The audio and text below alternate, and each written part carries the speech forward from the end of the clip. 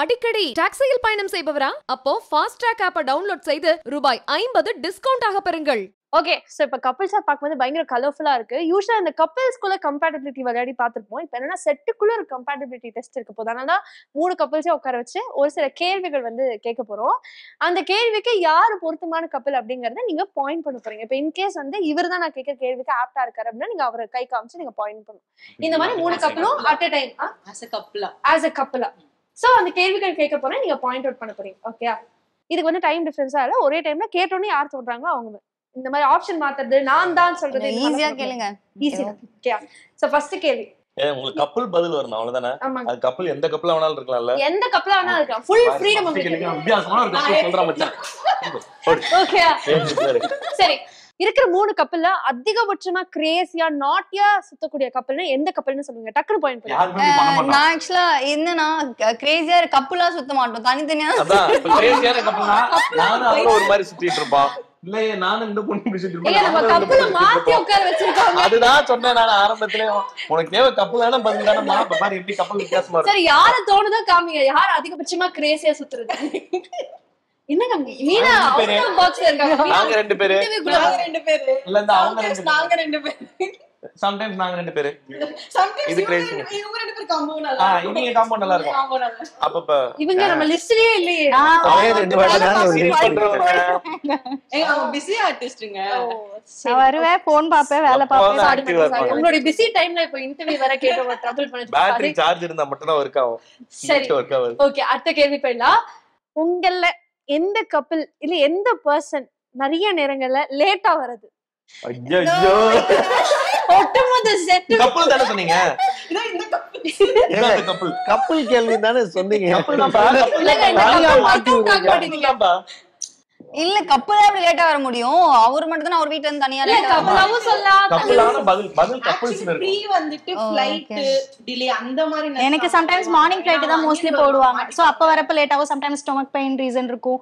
ஏன்னா monthly thirty days twenty eight days work இருக்கனால நான் முன்னாடியே பெர்மிஷன் கேட்டுட்டு வருவேன். சம்டைம்ஸ் டிராஃபிக்னால லேட் ஆகும். அது ரேர்லி எங்க அண்ணன் கப்பல் ஆஃப் டைம்ஸ் லேட் ஆகும் ஒரு நாளைக்கு கப்பல் ஆஃப் டைம்ஸ் லேட் ஆகும் பிரணவ், இன்னும் நிறைய எதிர்பார்க்கிறோம். நாங்க மட்டும் அந்த கேட்டை திறந்துருவோம். அந்த நீ கேட் இவன் தான் கேட்ட தரமா இவன் சொன்னா அவன் தான் கேட்டு தருக்கிறான் அந்த மாதிரி நான் மூணு பேர் கேட் திறக்கிறேன். சூப்பருங்க. உங்கள யாரு? பயங்கர ஃபுட்டி செம்ம ஃபுட்டி நீங்க மூணு பேர் ஃப்ரீஸ் ஆயிருக்கீங்க.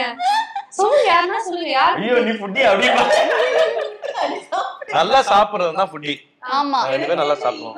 அதான் நாங்க ரெண்டு பேரும் நல்லா சாப்பிடுவோம். அதான் சொல்றேன். அவர் ரொம்ப நேரம் சிந்திச்சிருக்காரு யார சொல்லுங்க? அப்படின்னு. இல்ல. நீ சிரிச்சுக்கிட்டே இருக்கேன். எனக்கு இவன் மேலதான் சந்தேகம். ஓ அப்படியா? ஆஃப் ஸ்கிரீன்ல இவங்க ஃப்ரெண்ட்ஷிப் சூப்பரா இருக்குப்பா. அப்படின்னு நீங்க சொல்லக்கூடிய ஒரு கப்பல் இது கப்பல் கேள்வி. ஆஃப் ஸ்கிரீன்ல எல்லாருக்குமே எல்லாரு கூடயும் இருக்கும் அது. எல்லாருக்குமே சொல்லுங்க. இல்ல எல்லாருக்குமே எல்லாரு கூடயும் இருக்கும். ஏன்னா எல்லாருமே பாயிண்ட்ல அதிகமா கப்பலுக்கு ஃப்ரெண்ட்ஷிப் ஸ்ட்ராங்கா ஒரு வருஷம் இருக்கு. நீங்க கேக்குற அந்த அதிகமான்ற அளவுக்கு எந்த வருஷம்? மூணு வருஷம் கழிச்சு வரப்போ பாத்துக்கலாம் பற்றி நான் என்ன சொல்றேன்? நீங்க அட்லீஸ்ட் அவங்களுக்காச்சும் ஸ்பேஸ் கொடுங்க. அவங்க ஏதாவது கண்டென்ட் கொடுங்க சரி நான் இது என்னோட பதிலுங்க. அவங்க அப்பா அவங்ககிட்ட பதில். இல்ல இல்ல. எல்லாருமே லைக் எங்களுக்கு மார்க் போட முடியாதுல்ல. யார் எப்படி இருக்கான்றது லைக் எல்லாருமே மியூச்சுவலா ஃப்ரெண்ட்ஸா தானே இருக்கும். உங்கள யார் டிரெக்டர் ஸ்பெக்ட்? மீதி ரெண்டு பேரும் அமைதியா இருக்காங்க. இன்னைக்கு வந்து எத்தனை சீன் போக போகுது? நாளைக்கு என்ன சீன் பிளான் பண்ணிருக்காங்க updates student வந்து. முன்னாடியே தெரியும். எல்லாமே அவனுக்கு தெரியும். நான் அதான் கேட்பேன் எப்படா லாஸ்ட் பெஞ்ச் நான் அவன் நான் படிக்கும் போதுதான் ஃபர்ஸ்ட் பெஞ்ச் ஸ்டூடெண்ட் என்ன பண்ணிட்டு இருக்கீங்க? ஒன்னும் இல்ல சீன் பேப்பர் பார்த்துட்டு இருக்கமா நாளைக்கு எங்களுக்கு ஷூட் இருக்கான்னு வரைக்கும் தான் எனக்கு அப்டேட் பண்ணாரு. ஒன்னும் எத்தனை சீன் பேலன்ஸ் இருக்குன்னு அவருக்கு தெரியும். அவர் சுத்தமாடா. நீங்க யாரு ஃபீல் பண்றீங்க? தெரியலையே. அவர் எல்லாரையும் ஒன்னா தான் ட்ரீட் பண்றாரு எல்லாரும். அது ஐ மீன் ஆக்ஷன் கட்டு சொல்றதுக்கு அவருக்கு என்னன்னா இன்ஃபர்மேஷன் தெரியும். ஷெட்யூலிங் எது எது சீன்ஸ். எல்லாமே தெரியும். பட் ஆனா டேரக்டர் எல்லாரையுமே ஈக்குவலா தான் ட்ரீட் பண்ணுவாரு. ஏதாவது வேணும்னா பர்ஃபார்மன்ஸ்னா இன்க்ரீஸ் பண்ண சொல்லுவாரு. அந்த கரெக்ஷன்ஸ்லாம் பக்காவா சொல்லுவாரு. யாருக்குமே அந்த ஒரு பார்ஷியாலிட்டி காமிச்ச மாதிரி நான் இதுவரை ஃபீல் பண்ணல. ஸோ அதனால எனக்கு தெரியல. நல்ல ஹோம்ஒர்க் பண்ணக்கூடிய. எல்லாரும் வீட்ல போய் தான் பார்க்கணும் அப்போ. ஒவ்வொரு சீன் வந்து பார்த்துட்டு இந்த மாதிரி இன்புட்ஸ் போடலாம் இந்த மாதிரி பண்ணலாம் அப்படின்னு நிறைய அது எல்லாருமே அவங்க அவங்க கேரக்டர் தகுந்த இன்புட்ஸ் கொடுத்துக்கிட்டே இருப்போம் இப்போ ஷார்ட்டுமே நாங்க எல்லாருமே போய் கேட்போம். இப்போ யார் யாரோ ஒரு ஆளுக்கு ஏன்னா ஷார்ட் ஷார்ட்டா தனியா தான் போக போகுது போறப்ப கேட்போம். நம்ம நடிச்சது ரிப்பீட்ல நடிக்க போறது கிடையாது இங்க. எங்களுக்கு வந்து நீங்க மியூச்சுவலா இப்போ நீங்களும் இவங்களும் நடிக்கும் போது ரெண்டு பேருக்கும் இருக்கக்கூடிய கம்பேட்டபிலிட்டி விட்டுருங்க. பட் ஆனா இது எப்படி பண்ணலாம்? இல்ல இது இன்னும் அது எதுவுமே நாங்க யோசிக்க தேவையில்ல. டேரக்டர் சார் இங்க இருக்காது ஏன்னா சார் வந்து சொல்றத நாங்க கரெக்டா அவர் சொல்றத மட்டும் நம்ம. பண்ணாலுமே அதெல்லாம் சார் அங்க டிஃபரெண்டா வந்து நம்ம ஒண்ணு நினைச்சிருக்கோம்னா இந்த கேரக்டர் சார் ஒண்ணு நினைச்சிருப்பாரு. அதுதான் அது எப்படி டோட்டல் டிஃபரெண்டா தான் இருக்கும். அதான் நம்ம ஹோம்ஒர்க்லாம் பண்ணவே தேவையில்ல. நாங்க வந்தா கிளாஸ் எடுக்கிறேன் நீ. பிளைன் கேன்வஸா போனா போதுன்றீங்க. ஒரு நல்ல கலைஞன் ஆகணும்னா அதுக்கு முன்னாடி நல்ல ரசிகனா இருக்கணும்னு சொல்லுவாங்க. எங்கள் சார் வந்து ஒரு நல்ல ரசிகர். இப்படி பண்ணு அப்படி பண்ணு அப்படி பண்ணு இப்படி பண்ணு. நிறையா கரெக்ஷன் சொல்லி எங்களை வேலை வாங்குவார். நான் அதுக்கு முன்னாடி அஞ்சு சீரியல் நடிச்சிருக்கேன். ஆறாவது சீரியல். எந்த சீரியலுமே எனக்கு கிடைக்காத ஒரு பாராட்டு அப்ரிஷியேஷன்லாம் வந்து இங்கே தான் கிடைக்குது. ஸோ இவங்களுக்குமே ஆகட்டும் அதெல்லாம். இந்த சீனை இப்படி பண்ணலாம் அப்படின்னு படிச்சுட்டு போய் அங்கே நிற்பேன் கையை அப்படி நீட்டி பேசக்கூடாது இப்படி பேசணும் அந்த நேரத்தில் வந்து முகத்தை இப்படி திருப்பணும். அதுக்கு முன்னாடி வந்து முகத்தை இப்படி திருப்பணும் அப்படின்னு சொல்லி நிறையா அவர் ரசித்து ரசித்து எடுக்கிறது தான் மக்களுக்கு பிடிச்சிருக்கு. வெரி நைஸ் ரீல்ஸுக்கு பெயர் போன ஒரு பர்சன் யாரு? நாங்க இன்னும் அந்த அளவுக்கு ஸ்டார்ட் பண்ணவே இல்லை. ஆரம்பிச்சிருக்காங்க. இந்த கேங் இப்பதான் ஆரம்பிச்சிருக்காங்க. கேர்ள்ஸ் வந்து எங்க. எல்லாருமே வந்து கூப்பிடுவாங்க. வாங்க இது பண்ணலாம். பண்ணி வந்து பண்ணலாம் அப்படின்னு சொல்லிட்டு சொல்லுவாங்க. அவங்க. அவங்க ரொம்ப கப்பல் கப்பல் கேள்விக்கான பதில் கப்பல்னா இவங்க அவங்ககிட்ட சொல்லலாம் இவன் சொல்லுவான். நிறைய அனுப்புவான். நாங்க அந்த வரையும் பண்ணதில்ல. ஓகே நாங்க முன்னாடி வரைக்கும். சோஷியல் மீடியால அவ்வளவு ஆக்டிவா இல்ல. ஜஸ்ட் போட்டு போயிருவோம். ரீல் பண்ணிட்டு இப்போ டயர்டா இருந்தாலுமே சம்திங் ஏதாவது பண்ணலாம். ரொம்ப ஒரு மாதிரி மெக்கானிக்கலா லைஃப் போக கூடாது ஏதாவது ஜாலியா பண்ணலாம்னு சொல்லிட்டு இப்போ கொஞ்ச நாளா ரொம்ப ஆக்டிவா இருந்து. இந்த செட்ல அந்த செட்ல எங்கெங்க போறேன்னு எல்லாத்துலயும் ரீல்ஸ் பண்ணிட்டு இருக்கேன் ஜாலியா உங்கள முக்க ஜோக் சொல்லி சாவடிக்கிற பர்சன் யார்? எல்லா கேங்லயும் ஒரு ஆள் அப்படி இருப்பாங்க. முக்க நாங்களே ஜோக் மொக்க ஆரம்பிக்கும் போது மொக்க பண்ணிட்டு இருக்கோம் ஏய் கொஞ்சம் ஜோக்ஸ் தான் பண்ணுவாங்க நிறைய நேரம் ஏய், அவங்க கொஞ்சம் கூட ஆள் பார்க்கும்போது நம்ம உயிர் எவ்வளவு இருக்கா இவன் தான் ஆக்சுவலி அது நல்ல ஜோக்கு தான். இல்ல, இல்ல, கொஞ்சம் நல்ல ஜோக்கா இல்ல தான் இல்ல சார் இருக்கும் நாங்க அது சொல்றோம். ரவி அவர்களே சொல்லுங்க. என்ன ஒரு முக்க ஜோக் உங்களுக்கு இப்ப ஞாபகம் இருக்கிறது சான்ஸே இல்ல. நீங்க அழகா அப்படி வர ஸ்பான்டேனியஸா தான் வரும். இப்ப புரியுதா? உண்மையா யார் மொக்க ஜோக் சொல்லுவானே ரொமான்டிக் சீன்ஸ் நடிக்கும் போது சிரிச்சு ஃபன் பண்ணக்கூடிய ஒரு கப்பல் அது யாருக்குமே தெரியாது. ஏன்னா நாங்க எல்லாருக்குமே தனித்தனியா தான் ஷூட் பண்ணிருக்கோம் ஒண்ணு நடக்கும் போது இன்னொன்னு நான் இருந்திருக்கேன்.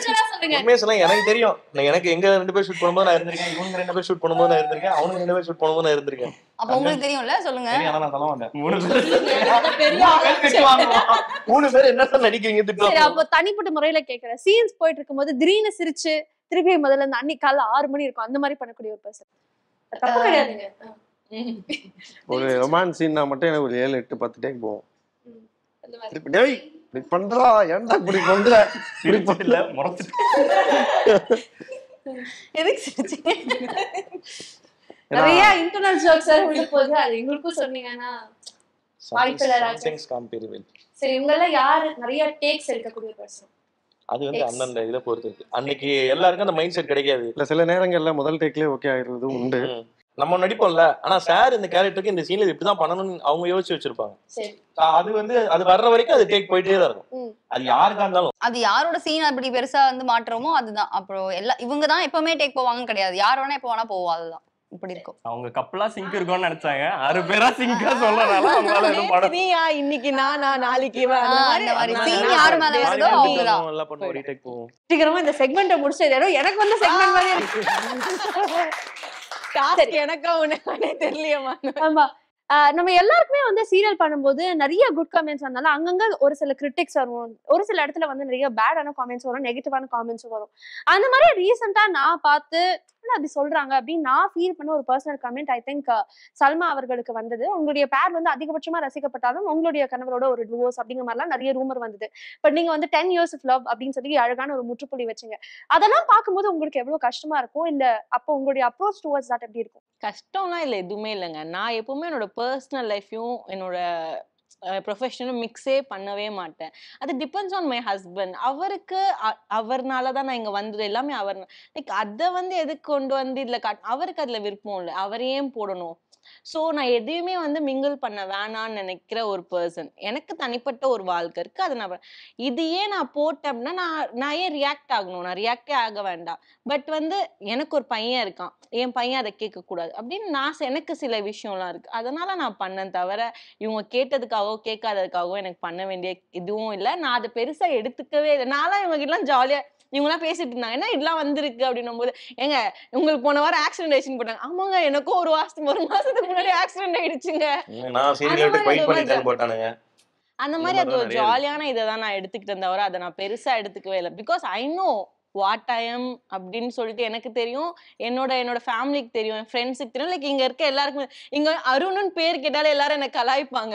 இந்த செட்ல எத்தனை அருண் இருக்காங்களோ ஒரே அருண் கிடையாது.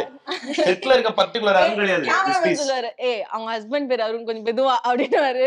ஸோ டேரக்ட் எல்லாருக்குமே தெரியும். ஸோ இது இது வந்து எனக்கு பெருசா இல்லை. அதை சில்லா தான் ஹேண்டில் பண்ணேன். ஓகே வெரி நைஸ் இவர் சொல்லியிருந்தாரு ஆக்சுவலா உங்கள்ட்ட பேசும்போதே சொன்னாரு நான் வந்து சீரியல் விட்டு குவிட் பண்ண போறேன்னு ஒரு நியூஸ் வந்து. அதே மாதிரி நடுவில் ஒரு நியூஸ் என்னன்னா முத்து மீனா அவர்களுக்குள்ள ஒரு செம்ம ஃபைட் இருக்கு. ஒரு சரியான அண்டர்ஸ்டாண்டிங் இல்ல அப்படிங்கிற மாதிரி வந்தது. அதுக்கப்புறம் அது இப்பதான் சரியா இருக்கு ஆமா இன்னும் சரியாவல சரியாவல இல்ல இன்னும் சரியாவல இன்னும் சரியாவல போயிட்டு தான் இருக்கு இன்னும். ஓகே சீரியல்ல சீரியல் ஆமா முத்து மீனானா இல்லைங்க.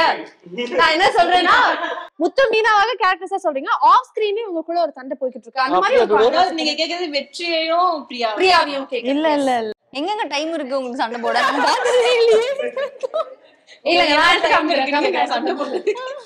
நல்ல அதெல்லாம் இல்ல. அதெல்லாம் இல்ல. நீங்க வேற. நல்ல ஒரு ஃப்ரெண்ட்ஸ் அவ்வளவுதான். இன்னைக்கு இன்னைக்கு மட்டும்தான் மேடம் ஆஃப்ல இருக்காங்க. புருவத்தை தூக்கம் போய் தெரியல. ஏன்னா இன்னைக்கு நான் கிட்ட மீட் பண்ணிக்கவே இல்ல. ரெண்டு பேரும். நானும் வந்தேன் நடிச்சேன் டப்பிங் கூப்பிட்டாங்க டப்பிங் போயிட்டேன் திரும்ப வந்தேன். கொஞ்ச நேரம் உங்க கூட வந்தேன் சாப்பிட்டேங்க சாப்பிடும் போது நான் எனக்கு தெரிஞ்சு உங்களை ஃபர்ஸ்ட் பார்த்தேனே நினைக்கிறேன். அதுக்கு முன்னாடி பார்க்கவே இல்லை. மத்தபடி நாங்க ஜாலியா பேசி அடிச்சுட்டு இருந்துட்டு இருப்போம். எல்லாரும் மாறி மாறி அடிச்சுக்கோம் நம்மளுடைய கதாபாத்திரத்துக்கான இதுதான் ஸ்பேஸ் அப்படிங்கிறது நமக்கு தெரிஞ்சா கூட ஒரு சில இடங்கள்ல நமக்கே தெரியாம நம்மளே அறியாம நமக்கு இன்னும் கொஞ்சம் ஸ்பேஸ் இருந்திருக்கலாம். இல்ல இவங்களுக்கு அதிகமா ஸ்பேஸ் இருக்கே அப்படிங்கறது எல்லா செட்லயும் இருக்கக்கூடிய ஒரு ப்ராப்ளம் இது மியூச்சுவலா ஒரு ஹியூமனுடைய பிஹேவியர் அப்படின்னே சொல்லலாம். அந்த மாதிரி என்னைக்காச்சும் ஒரு நாள் உங்களுக்குள்ள எனக்கு இன்னும் கொஞ்சம் ஸ்பேஸ் இருந்திருக்கலாம். இல்ல இவங்களுக்கு அதிகமா ஸ்பேஸ் இருக்கு அப்படின்னு என்னைக்காச்சும் ஃபீல் பண்ணிருக்கீங்களா? இல்ல இங்க தான் ஆக்சுவலி இதுக்கு முன்னாடி நான் கொஞ்சம் சீரியல்ஸ்லாம் பண்ணியிருக்கேன்ல. ஸோ அதில் பார்க்கும்போது ஏதாவது ஒரு ட்ராக் தான் மெயினாக போகும். மித்ததெல்லாம் வந்து சைடு ஆக்கிடுவாங்க. மெயின் ஃபோக்கஸ் வேற மாதிரி இருக்கும். பட் இந்த சீரியல் தான் நான் ஒர்க் பண்ணதுல ஃபுல் அண்ட் ஃபுல் வந்து ஒரு ஃபேமிலி என்டர்டைனிங்காக எல்லாருக்குமே ஈக்குவல் இம்பார்ட்டன்ஸ் கொடுத்து யாருமே சும்மா ஃப்ரேமில் ரொம்ப நேரம் இருக்க மாட்டாங்க. நிறைய நான்லாம் கூட நிறைய இதில் ஜூனியர் ஆர்டிஸ்ட் மாதிரி டயலாக் இல்லாமல் கூட நின்றுருக்கும் அந்த மாதிரி. சும்மா நிற்க வைப்பாங்க. இருக்கட்டும் பின்னாடி ஏதாவது தேவைப்படும். அந்த மாதிரி இங்கே இருந்திருக்கு. பட் அவ்வளோ ஒரு லாங் சீக்வன்ஸ்க்கு இல்லை. அவ்வளோ ஒரு பேடாக தெரியல. கரெக்டாக நிற்கிறாங்கன்னா ஃப்ரேமில் இருக்காங்கன்னா எல்லாத்துக்குமே ஈக்குவல் இம்பார்ட்டன்ஸ் இருக்கும். டயலாக்ஸ் இருக்கும் பர்ஃபார்மன்ஸ் இருக்கும். அது மாதிரி ட்ராக்கு கரெக்டாக வரும். இப்போ அது என்ன என்ன சொல்றது? கரெக்டாக மேனேஜ் சொன்னா இப்ப இங்க இருக்கிற ஆறு கேரக்டர்ஸ் மட்டும் எடுத்துக்கோங்க. இந்த ஆறு கேரக்டர்ஸுமே ஒவ்வொருத்தரோட லைஃப்லயும் ஒவ்வொருத்தவங்களோட நாட்டு இருக்கு. இவங்களோட தம்பி என் பைக்கை திருடல அப்படின்னா இவங்க ரெண்டு பேரும் கல்யாணம் ஏற்பாடு நடந்திருக்காது இவன் ஓடி போலனா எங்க ரெண்டு பேரும் கல்யாணம் நடந்திருக்காது நான் அந்த பிஏ அடிக்கலைன்னா இவங்க ரெண்டு பேரும் கல்யாணம் நடந்திருக்காது அவங்க ரெண்டு பேரும் மட்டும் ஓடி போய் கல்யாணம் பண்ணிட்டாங்க. விட்டுருங்க ஓடு கல்யாணம் ஓடு கல்யாணம். இல்ல பட் அவங்க இப்போ அவங்க ரெண்டு பேரும் என்ன யூஸ் பண்ணிட்டாங்க பாத்தீங்கன்னா இவங்களை யூஸ் பண்ணலன்னா எங்க ரெண்டு பேருக்குள்ள சண்டை இருக்கு சோ இவங்களுமே இதுல இதுல மிங்கில இருக்காங்க சோ எல்லா கேரக்டர்ஸுமே ஹெல்ப் பண்ணிருக்காங்க இவங்க வந்து டீல் பண்ணிருக்காங்க ஆமா Help நான் பண்ணி- நான் தான் வெளியே அவங்க வெளில எடுக்கலாம் எங்க ரெண்டு பேருக்குள்ள ஒரு பண்ணிருக்காங்க, அண்டர்ஸ்டாண்டிங் வந்திருக்காது. சோ இந்த மாதிரி எல்லாரும் இப்ப நாங்க சொல்றது இந்த ஆறு மட்டும் சொல்றோம். இதை தாண்டி இன்னும் இந்த சீரியல் நடிக்கிற எல்லா கேரக்டர்ஸும் லைக் சின்ன கேரக்டரா கூட இருக்கட்டுமே. ஒரு ஃப்ரெண்டு கேரக்டராக இருந்தால் கூட அவங்களுக்கு ஒரு இம்பார்ட்டன்ஸ் இருக்கும். அது ப்ளசண்ட்டாக இருக்கும் பார்க்குறது சோ அது ஏதோ ஒரு இடத்துல ஒரு நாட் கனெக்ட் ஆகி தான் இருக்கு. சோ அது வந்து சார் வந்து அதை டீடைல் பண்ணி வச்சிருக்காங்க லைக் ஒரு ட்ரீயோட பிரான்ச் மாதிரி. அப்படி இருக்கறனால இதுல எங்களுக்கு அதிகமா இருக்கு. எனக்கு கம்மியா இருக்குன்னு யாருமே ஃபீல் பண்ண முடியாது. ஏன்னா எல்லாருமே எல்லாரும் கூட கனெக்ட் ஆயிருக்கும். இல்லையா? இப்ப திவாகர் பைக்கை திருடவே இல்லைன்னு வச்சுக்கோங்க. மீன் சத்யா பைக்கை திருடவே இல்லைன்னு வச்சுக்கோங்களேன். இந்த கதையே கிடையாது. இங்க மத்த இது டிராவலே இருக்காது. இவன் பாட்டுக்கு இவன் வச்சிருந்த பொண்ணோட அவன் பாட்டு ஜாலியா இருந்திருப்பான். கதைப்படி? கதைப்படி. சோ அப்போ இது எல்லாமே வந்து ஒரு பிரான்ச்சஸ் மாதிரி தான் இருக்கு. அது அப்படியே போறதுனால யாரும் ஐ திங்க் இதுல ஒட்டுமொத்தமா what we are understanding is உங்களுடைய புரிதல் சத்து கேரக்டர் இஸ் லைக் அமேசிங் உண்மையாலுமே அதை தான் அப்ரிஷியேட் பண்ணணும்னு நினைக்கிறேன். நம்ம எல்லாருக்குமே இந்த நேரத்துல வந்து நிறைய ரிசப்ஷன் நிறைய ரெஸ்பான்ஸ் வந்தா கூட நம்ம ஸ்டார்ட் பண்ண பயணத்துல எக்கச்சக்கமான ஹார்ட்ஷிப் ஸ்ட்ரகிள்ஸ் எல்லாம் இருந்திருக்கும். For each one of you I think அதெல்லாம் கடந்ததுக்கு அப்புறம் இன்னைக்கு இங்க வந்து நிக்கிறதே நமக்கு ஒரு பெரிய பெருமையா இருக்கும். நம்மளை சுத்தி இருக்கவங்களுக்கு ஒரு பெரிய பெருமையா இருக்கும். ஐ திங்க் நீங்க எல்லாருமே உங்களுடைய ஹார்ட்ஷிப்ஸ் உங்களுடைய ஸ்ட்ரகிள்ஸ் இன் யோர் கெரியர் பத்தி கண்டிப்பா சொல்லி ஆகணும்னு நினைக்கிறேன் it be really inspiring start with நம்முடைய Priya start with okay Preetha சொல்லுங்க. இப்போ ஆக்சுவலி எனக்கு இந்த சீரியல்ல வந்தது வந்து ரொம்ப பெரிய விஷயம். ஏன்னா நான் நிறைய சீரியல்ஸ் பண்ணியிருக்கேன். பண்ணியிருந்தோம் இப்படி ஒரு ரெக்கக்னேஷன் எனக்கு கிடைக்கல. லைக் இருக்கும் பட் டோட்டல் ஹண்ட்ரட் பர்சன்ட் பீப்புள்ஸ்க்கு நம்மளுக்கு தெரியுமா கேட்டால் கிடையாது. ஒரு சர்டைன் ஒரு இங்கே பர்டிகுலர் இங்கே பார்ப்பாங்க அங்கே பார்ப்பாங்க அப்படிதான் இருக்கும். பட் இது வந்து தெரியாத இடமே கிடையாது. எல்லாருக்குமே தெரியுது. எங்க போனாலுமே தெரியுது. ஸோ அப்படி ஒரு ரெக்கக்னேஷன் இருக்கு. தென் கேரக்டராகவும் நான் ரொம்ப லைக் பண்ணி பண்ணிட்டு இருக்கேன் தென் குமரன் சார்ட்ட ஒர்க் பண்றது வந்து எனக்கு ரொம்பவே பிடிச்சிருக்கு. பிகாஸ் நிறைய விஷயம் டெய்லி டே டு டே கத்துக்கிட்டே இருக்கேன் நிறையாவே. ஸோ அப்புறம் வந்து இந்த கேரக்டர் இவங்க சொன்ன மாதிரி தான் எல்லாருக்குமே ஒரு ஸ்பேஸ் இருக்கு. யாருக்குமே எங்கேயுமே என்னடா இந்த கேரக்டர் நம்ம பண்றோம்னு நம்மளுக்கு இந்த ஸ்பேஸ் இல்லை அப்படின்னு ஒருத்தவங்க கூட ஃபீல் பண்ணியிருக்கவே முடியாது. அதுதான் இந்த சீரியல்ல வந்து ரொம்ப ப்ளஸ்ன்னு பார்த்தா அது ரொம்ப பெரிய விஷயம். ஏன்னா மற்ற சீரியல்ஸ்லாம் பார்த்தீங்கன்னா அந்த கதை யார் மேல ட்ராக் போதோ அவங்களுக்கு மட்டும் தான் அந்த இது இருக்கும். ஸ்பேஸ் கொடுத்துருப்பாங்க. இங்க அப்படி கிடையாது. எல்லாருக்குமே அந்த ஒரு ஸ்பேஸ் இருக்கும். ஸோ அது ரொம்ப பிடிக்கும். Struggle as an actor I think அதை பத்தி நீங்க சொல்லும்போது இன்னும் இந்த ஃபீல்டுக்குள்ள வரணும்னு ஆசைப்படுறவங்களுக்கு ஒரு பெரிய உதாரணமா இருக்கும்னு நினைக்கிறேன். நாங்களாம் தான் பெரிய உதாரணம். சி எங்களுக்கு ஈச் அண்ட் எவ்ரி ஒன் ஒரு ஸ்டோரி இருக்கு. ஸோ அது எல்லாரும் லைக் வெளில சொன்னதில்லைன்னு நினைக்கிறேன். But whatever they undergo அது ஒரு ப்ராசஸ் தானே. ஸோ அது இல்லைன்னா நம்ம இந்த இடத்துக்கு வர முடியாது. ஸோ அங்கே லேர்ன் பண்ண லெசன்ஸ் தான் நம்ம வந்து இதை தக்க வச்சுக்கணும் இதை நம்ம ப்ராப்பராக யூட்டிலைஸ் பண்ணிக்கணும் அப்படின்ற ஒரு கோராக இருக்கும். ஸோ அப்படி பார்க்கும்போது லைக் அந்த டெஸ்டினின்றது இருக்கு இல்லையா? கரெக்டான ஒரு மென்டர்கிட்ட வந்திருக்கும். ஸோ நாங்கள் சரண்டர் பண்ணியிருக்கோம். எங்களை கரெக்டாக எடுத்துகிட்டு போயிடுவாங்க. எங்களுக்கு நம்பிக்கை இருக்குது நல்ல டேரக்டர் கிடச்சிருக்கு. நல்ல டீம் ஆர்டிஸ்ட்லேருந்து எல்லாருமே நல்ல பர்ஃபார்மர் ஸோ எல்லார்கிட்டேருந்தும் ஒரு ஒரு விஷயம் எடுத்து. இந்த கேள்வி ஏன் கேட்டேன்னு சொல்றேன். ஆடிஷன்ஸ் போவோம் ஸ்கிரீன் டெஸ்ட் போவோம் இந்த கேரக்டர் நமக்கு அமையணும்னு ஆசைப்படுவோம். பட் அமையாம நிறைய இடத்துல போயிருக்கோம். அங்க இருந்த ரிஜெக்ஷன்ஸ் எல்லாம் தாண்டி ஒரு இடத்துல வந்து இப்ப நின்றுக்கோம்ல ஐ திங்க் அந்த நேரத்துல நம்மள நம்மளே கிவ் அப் பண்ணியிருந்தா இந்த நேரத்துல இந்த பொசிஷனுக்கு வந்திருக்க முடியாது. அதுதான் நான் கேட்டு தெரிஞ்சுக்கணும்னு ஆசைப்படுறேன். ஸோ சல்மா அவர்களே நீங்க சொல்லுங்க. எனக்கு வந்து கல்யாணமாயி குழந்தை இருந்ததுக்கு அப்புறம் தான் நான் இந்த இண்டஸ்ட்ரிக்கே வந்தேன். ஸோ எல்லாருக்குமே இருக்கிற மாதிரி தான் ஹஸ்பண்ட் கிட்ட கேட்கும்போது நீ போ. நீ எவ்வளோக்கு எவ்வளோ உனக்கு ரெக்கக்னேஷன் வருதோ அதே அளவுக்கு உனக்கு நெகட்டிவ் சைட்ஸும் வரும். ரெண்டுத்தையும் நீ பேலன்ஸ்டாக ஹேண்டில் பண்ண. நீ கற்றுக்கிறது நீ பண்ண உன்னால் முடியும்னா நீ பண்ணு அப்படின்னா. யா அஃப்கோர்ஸ் நான் ட்ரை பண்ணுறேன் எதுவுமே நம்ம முடியும்னு சொல்ல முடியல ட்ரை பண்ணி பார்க்காம நான் ட்ரை பண்ணுறேன் அருண் அப்படின்னு சொல்லிட்டு அதுக்கப்புறம் வந்ததுக்கப்புறம் அதே மாதிரி தான் நான் ஆட் ஷூட்ஸ் பண்ணிட்டு இருக்கும்போது ஆட் ஷூட்ஸ் மட்டும் தான் பண்ணிட்டு இருந்தேன். திடீர்னு சீரியல்லேருந்து ஆஃபர் பண்ணும்போது எப்படி இருக்கும் அப்படின்னு தெரியாமல் ஒரு இண்டஸ்ட்ரி வரும்போது அங்கே வந்து நம்ம வேற மாதிரி இருப்போம். ஒரு ஆட் ஷூட் ஷூட்னா உங்களுக்கு தெரியும். ஒரு மாடலை எப்படி ஹேண்டில் பண்ணுவாங்கன்னா வாக்கி டாக்கில் வந்தாங்க. அந்த மாதிரி இருக்கிற இடத்துல இங்கே வந்து நம்ம உட்காந்துட்டு என்னடா காலைல இருந்து உட்காந்துட்டு இருக்கோம். நைட்டு ஆறு மணி ஆயிடுச்சு. கூப்பிடல. அந்த மாதிரிலாம். அந்த மாதிரி இருக்கிறத தாண்டி அப்புறம் ஒரு ரெண்டு சீன் நடிச்சோ நாலு சீன் நடிச்சோ அப்புறம் ஒரு சீரியல்ல ஒரு சிக்ஸ் மந்த்ஸ் நம்ம டிராவல் ஆகுற பெரிய விஷயம். சிக்ஸ் மந்த்ஸ் ஓ நம்ம சிக்ஸ் மந்த்ஸ் வந்துட்டோம். ஒரு சீரியலை பார்த்தா ஓ நம்ம ஒரு கேரக்டரா இதுல போறோமா? அப்படி. அப்புறம் இந்த சீரியல் வரும்போது இந்த சீரியல்ல இவ்ளோ இம்பார்ட்டன்ஸ் இருக்கா இந்த கேரக்டருக்கு இவ்ளோ ஒர்க் பண்றோமா? இதுதான் ஒர்க்கா அப்படின்னு நம்ம கத்துக்கிறோம்ல. ஒரு நாள்ல நம்ம இவ்வளோ சீன் பண்ணியிருக்கோம் அப்படின்னும் போது அதே பெருசா இருக்கும். வீட்டுக்கு போனா அந்த- டயர்ட்லாம் தெரியாது. நம்ம இவ்வளோ லைக் டயர்ட் அதெல்லாம் தாண்டி ஒர்க் பண்றோம். ஒர்க் வாங்குறாங்க. நம்ம செய்யறோம் அந்த ஒரு திருப்தி இருக்கும்ல. அது இங்க கிடைக்குது. ஸோ அதுக்கான ரெக்கக்னேஷனும் நம்மளுக்கு கிடைக்குது. இதெல்லாம் பார்க்கும்போது ரொம்ப சந்தோஷமா இருக்கு. கரெக்டான பிளேஸ்ல நான் நான் இன்னைக்கு இருக்கேன் அப்படின்றதுல ரொம்ப சந்தோஷம். பியூட்டிஃபுல் நீங்க சொல்லுங்க. தேவா அவர்களே. இது ஒரு காட் கிஃப்ட்டு தான். நான் வந்து லோக்கல் டிவியில் ஆங்கர் பண்ணிட்டு இருந்தேன் திருச்சியில் ஸோ எனக்கு ஆக்டிங் இன்ட்ரெஸ்ட் வந்து இங்கே சென்னையில் வந்து கற்றுக்கிட்டு இருந்தேன். ஸோ அப்போ எனக்கு மெச்சூரிட்டி பத்தலை அப்படின்னு சொல்லி திரும்ப திருச்சிக்கே போயிட்டேன். ஸோ அதுக்கப்புறம் அங்கே ஒர்க் பண்ணிட்டு திரும்ப ஸ்டடீஸை கண்டினியூ பண்ணிட்டு வீட்டில் பிஸ்னஸ் ஹெல்ப் பண்ணிவிட்டு ஸோ அங்கே தான் லைஃப் இனிமே இந்த திரும்ப இந்த பக்கம் வர முடியாதுன்னு நினச்சப்ப உள்ளூரில் இருக்க பசங்களாம் ஷார்ட் ஃபிலிம் பைலட் ஃபிலிம் பண்ணுறதுக்காக என்னை கூப்பிட்டு அதில் ஒரு பத்து பதினஞ்சு நடிச்சு அதில் ஒரு பைலட் ஃபிலிம் திரும்ப அஞ்சு வருஷம் கழிச்சு சென்னைக்கு என்னை கூட்டிகிட்டு வந்து அதில் ஒன்று பெஸ்ட் ஆக்டர்னு சொல்லி அவார்டு வாங்கி கொடுத்து பரவாயில்ல என்னையும் ஆக்டர்னு சொல்லி என்னையும் மதித்து ஒரு மேடையெல்லாம் ஏற்றி ஏதோ சர்டிஃபிகேட்லாம் கொடுக்குறாங்கன்னு சொல்லி எனக்கு ஒரு கொஞ்சம் கொஞ்சம் கான்ஃபிடென்ட் இன்க்ரீஸ் ஆகி அதுக்கப்புறம் அந்த சர்டிஃபிகேட் வச்சுட்டு நாலு பத்து பெரியவங்களை பார்த்து இது மாதிரி எனக்கு இதில் ஆர்வம் இருக்குது அப்படின்றத கேட்டு ஒரு நூறு கம்பெனிகளுக்கு மேலே ஒரு நூறு பேருக்கு மேலே பார்த்து டெய்லி அவங்கள பேசி ஃபாலோ பண்ணி ஃபாலோ பண்ணி ஃபாலோ பண்ணி ஃபஸ்ட்டு செகண்டு தேர்டு ஃபோர்த்து ஃபிஃப்த்துன்னு இப்போ இந்த சிக்ஸ்த் ப்ராஜெக்டில் இருக்கேன்.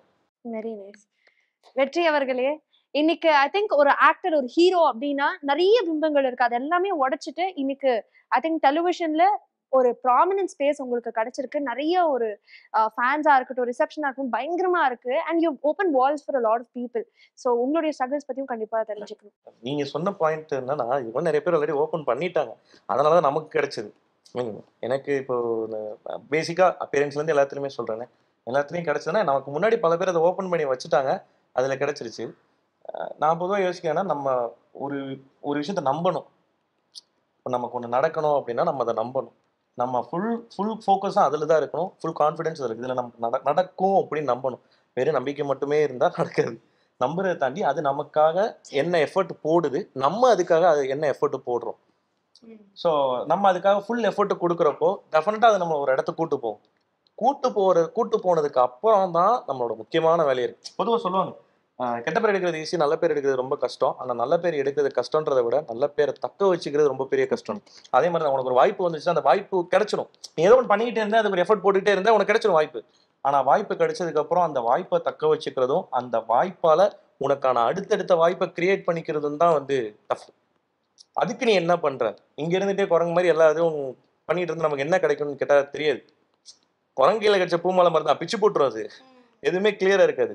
இப்போ நம்ம ஒரு ஒர்க்கு கிடைச்சிருக்குன்னா அந்த ஒர்க்ல எவ்வளவு இதா ஒர்க் பண்றோம்? ஃபுல் எஃபர்ட்டோட ஒர்க் பண்றோம். அந்த அதுதான் மேட்டர்ஸ்ன்ற அது நீங்க எஃபர்ட் போட்டு ஒர்க் பண்ணீங்கன்னா அதுவே உங்களை அடுத்தடுத்த ஸ்டேஜுக்கு கூட்டு போயிடும்.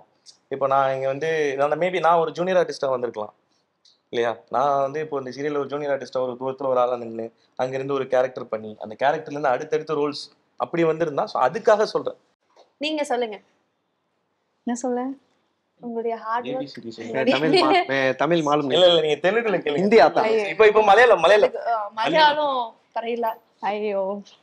நான் வந்து ஆக்சுவலி இண்டஸ்ட்ரி வருவேனா அதெல்லாம் எதுவும் தெரியாது. ஃபர்ஸ்ட் நாங்கள் நல்ல ஒரு ஃபேமிலியாக இருந்து மிடில் கிளாஸ் ஆகி லோயர் மிடில் கிளாஸ் ஆகி ஸ்டடீஸ்க்கெல்லாம் ரொம்ப ஸ்ட்ரகிள் பண்ணி கவர்மெண்ட் ஸ்காலர்ஷிப்பில் தான் படித்து தான் வந்தோம். ஸோ எனக்கு எல்லாமே என் லைஃப்பில் வந்து நான் ரொம்ப பிளஸ்டாக ஃபீல் பண்ணுவேன். கொடுத்து வச்சது மாதிரி ஃபீல் பண்ணுவேன். நான் வந்து ஐ மீன் நம்ம அவ்வளோ கிடைக்குன்ற ஒரு இதில் இருக்க மாட்டேன். பட் நம்மளுக்கானது இருக்கும் அப்படின்ற மாதிரி ஒரு இருக்கிறப்போ எனக்கே கடவுளாக நெக்ஸ்ட் நெக்ஸ்ட் நெக்ஸ்ட் ஒன்று கொடுப்பாரு. நான் அது இப்போ எனக்கு இந்த மாதிரி ஃபீல்டு வரணும்னு நான் தோணுச்சு. ஒரே ஒரு நாள் அதுக்கு மேலே நான் கேமரா ஃபேஸ் பண்ணதே கிடையாது. ஷூட்டிங் நடக்குதுன்னா கூட போய் பார்த்தா அதுக்கு நம்மளுக்கு டைம் வேஸ்ட் ஆகும். போக வேண்டாம் நம்ம படிப்போம்.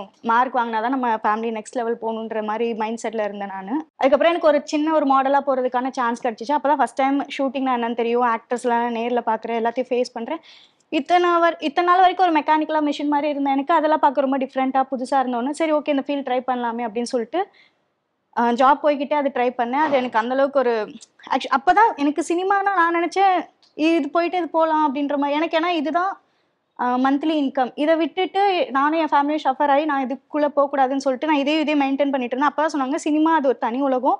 நிறைய பேர் வந்து ஃபுல் அவங்க லைஃபே கொடுத்து ட்ரை பண்ணிட்டு இருக்காங்க அப்போ கூட கிடைக்காது. நீ இது இவ்வளோ ஈஸியாக ஹேண்டில் பண்ணுறியா அப்படின்ற மாதிரிலாம் நிறைய எனக்கு சொன்னாங்க.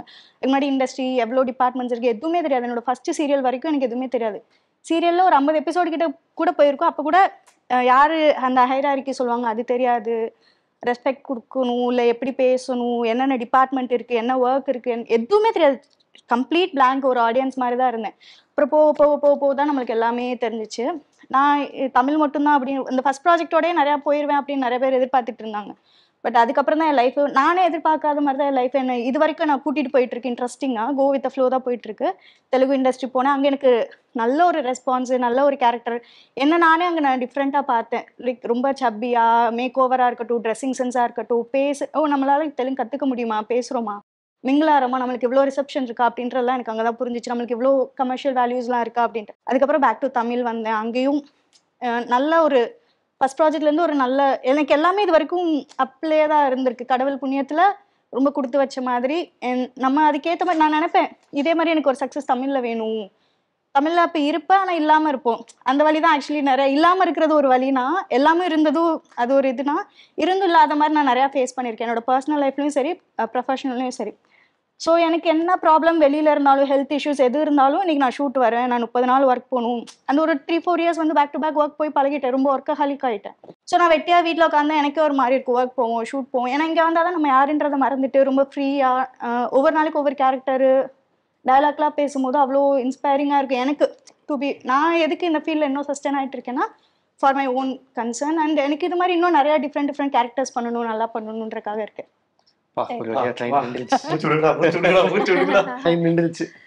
எதிர்பார்க்கவே இல்லை. இத்தனை இண்டஸ்ட்ரி போவோமா? எனக்கு இதுக்கப்புறமும் ஒரு ஆசை இருக்கு. எனக்கு ஏதாவது மித்தாலஜி சீரியல் பண்ணி ஹிந்தி போய் அந்த லாங்குவேஜ் கத்துக்கிட்டு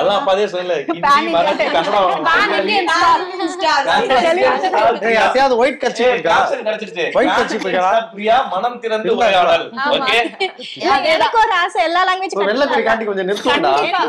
ரொம்ப பிடிக்கும். இப்போ லாங்குவேஜ்லாம் கத்து வச்சுட்டோம்னு வச்சுக்கோங்களேன். நெக்ஸ்ட் நம்ம எங்கேயாவது போனா ஊர் சுத்தணும். யாரோட ஹெல்ப்பும் இல்லாம இல்லாம கைடும் இல்லாம நம்ம ஊர் சுத்தி இது பண்றதுக்காக நீ வேற ப்ராஜெக்ட் இல்ல இல்ல ஆக்சுவலா நம்ம நீ வந்து சரியான டூரிஸ்ட் கைடு வச்சு சுத்துறப்ப நம்ம ஃபுட்டா இருக்கட்டும் கல்ச்சரா இருக்கட்டும். இப்ப எனக்கு தெரியும் தெலுங்கு தாலி எப்படி இருக்கும் மலையாள தாலி எப்படி இருக்கும் அங்க எப்படி ட்ரெஸ்ஸஸ் போடுவாங்க ஃபுட் எப்படி இருக்கும் எந்த வெதர் கண்டிஷன்ஸ் எப்படி இருக்கும் கிளைமேட்ஸ் எல்லாம் எப்படி இருக்கும். அங்க ஆக்டிங்கும் ஆக்சுவலி இங்க வந்து ஓவர் டிராமாட்டிக்கா இருக்கும். அங்க லைட்டா பண்ணா போதும். அந்த மாதிரி ஒரு டிஃபரெண்ட் வேரியேஷன்ஸ்லாம் இருக்கும்ல. இப்போ ஒரு மாதிரி பெருமூச்சு விட்டுக்கோங்க. பட் எனிவேஸ் உண்மையாலுமே அவங்க வந்து நினைச்சது வந்து அவங்களுக்கு இன்னும் பெருசா நடக்கணும்னு நாங்க விஷ் அவங்களுக்கு மட்டும் இல்ல ஆமா. ஈச் ஒன் ஆஃப் யூ உங்க எல்லாருக்குமே ஆசைப்பட்ட மாதிரி உங்களுடைய கனவுகள் மேற்பட நிறைய விஷயங்கள் நடக்கணும். And thank you so much and உங்களுடைய ஷூட்டிங்க்கு நடுவுல வந்தா கூட ரொம்ப ஸ்வீட்டா எல்லா கொஸ்டினுக்கும் ஆன்சர் பண்ணி பயங்கர ஃபன்னா மாத்திட்டீங்க. தேங்க்யூ எங்களோட பொறுமையா இவ்வளவு நேரம் ரொம்ப நன்றி. Thank you thank you thank you thank you